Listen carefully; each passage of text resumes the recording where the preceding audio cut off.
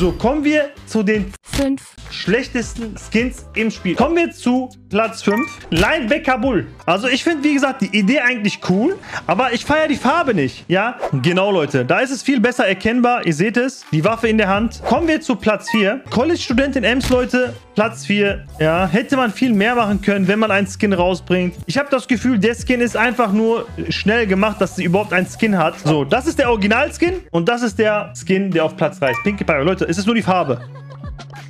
Leute, es ist nur die Farbe. Das war's. Digga, was ist das denn? Platz 2 ist Bo. Also ich persönlich feiere ihn nicht. Ho, ho, ho, Bo ist cool. Aber Krieger Bo, Leute, ich fühle den Skin nicht. Gefällt mir nicht. Er hat auch keine, keine Animation in den Schüssen. Kommen wir zu den schlechtesten Skin in Brawl Stars, Digga. GT Max. Digga, wenn du einen Skin rausbringst, Digga, da musst du den besser machen als den Default Skin. Guck dir das mal an. Das Original sieht besser aus als der mit dem Skin.